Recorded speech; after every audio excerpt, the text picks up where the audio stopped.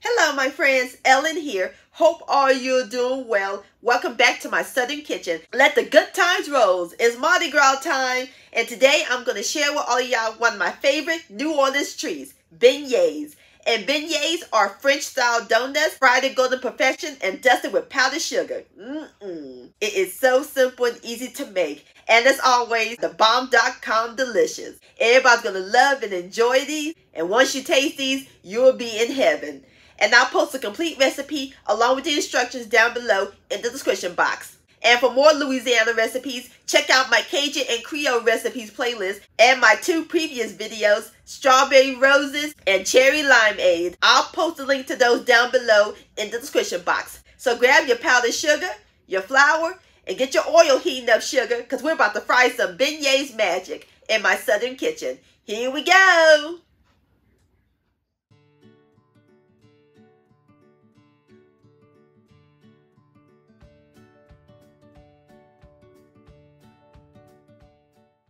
All right, my friends, the first step we're going to do is prepare our yeast. In my measuring cup, I have 3 fourths of a cup of warm water at 110 degrees.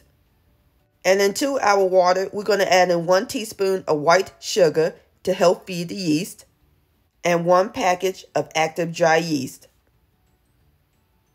And stir everything together until it's well combined. So now we're going to let it sit for 10 minutes until the yeast risen.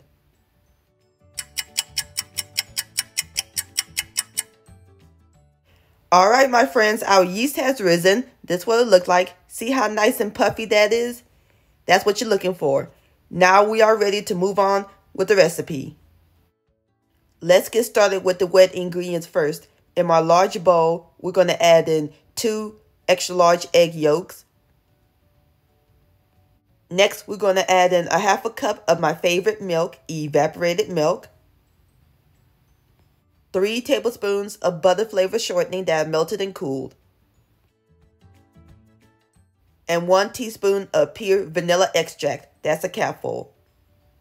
Give it a quick whisk until everything's well blended. So now we're going to set the wet ingredients aside while we work on the dry ingredients. In my stand mixer, I have four cups of all-purpose flour, or you can use bread flour.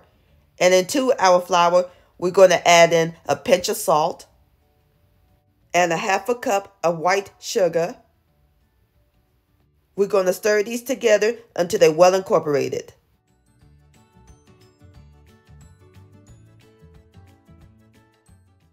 Alrighty, so now I have switched my paddle attachment to my dough hook. We're ready to add in the wet ingredients our yeast, and our shortening mixture. And we're going to mix this on medium speed for about five minutes until it forms a dough.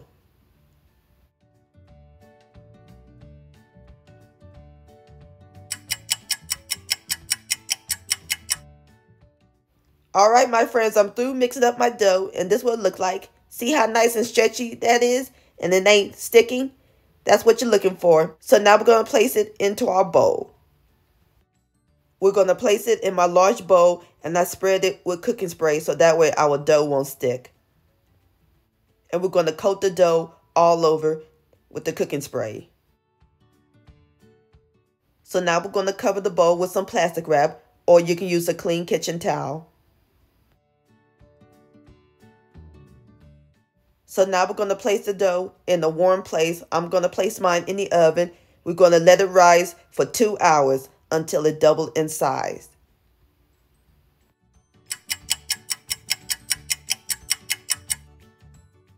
All right, my friends, this is what our dough looked like. Nice and big. So now I'm going to punch a hole in the center to release the air. And we're going to dust some flour onto my work surface and we're going to place our dough and knead it a few times. Ooh, his dough is nice and soft, squishy like a pillow. Oh, I just love the smell of yeast. I've also done a no-knead beignet recipe a couple of years ago here on my channel. I'll post the link to that recipe down below in the description box. Alright, as soon as I get through kneading up my dough, I'll bring you back. Alright, my friends, I am through kneading up my dough. So now we're going to take a rolling pin and we're going to dust it with flour and we're going to roll it.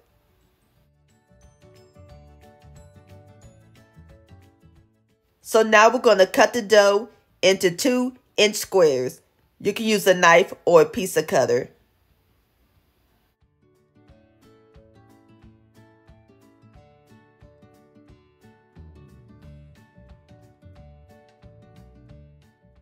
Okie dokie, I've got all my squares together. Now it's time for the best part, the frying. So I'm going to go heat up some oil and I'll bring you back. Alright my friends, I've got my oil nice and hot at 350 degrees. I'm using canola oil. So we're going to gently place the beignet into the hot oil. Oh yeah, see how nice and sizzling that is? That's what you want. And be careful not to overcrowd the pot Otherwise, the temperature of the oil will go down. So we're going to let the beignets fry on one side for two minutes.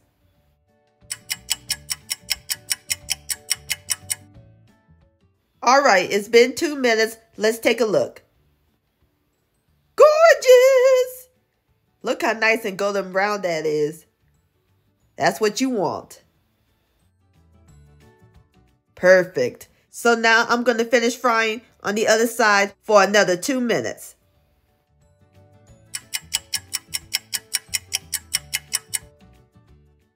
Alright my friends, I am through frying these batches and I place them onto my pan lined with paper towels and cooling racks to drain the grease. So now while they're still hot, we're going to dust them with some powdered sugar. Oh, it smells so good. All right, I'm going to go ahead and finish frying the rest of my beignets and I'll bring you back. All right, my friends, there you have it. New Orleans, aka French Quarter beignets. Doesn't that look good? Oh, my mouth's watering. Now it's time for the best part, the tasting. Here we go. Mm-mm. Look at that. Have a bite. Look at that texture. It's perfectly cooked, soft, tender, sweet. Reminds me of New Orleans. These beignets are spot on. Fantastic, my friends. Please give this recipe a try. This deserves another bite. Mm-mm. Yum-o. Oh. Beignet-licious. My friends, I want to thank all y'all for watching and joining me in my southern kitchen today. If you enjoyed this recipe, please give it a thumbs up. I really do appreciate it. Don't forget to share this with your family and friends. Like, comment, subscribe to my channel, and click on the bell so that way you'll be notified when my new videos come out. Also, follow me on social media. Facebook, Ellen's Homemade Delights, and Instagram at Ellen Delights. And don't forget to hashtag Ellen's Homemade Delights. And I'll see you next time. Let's eat. Much love and happy Mardi Gras.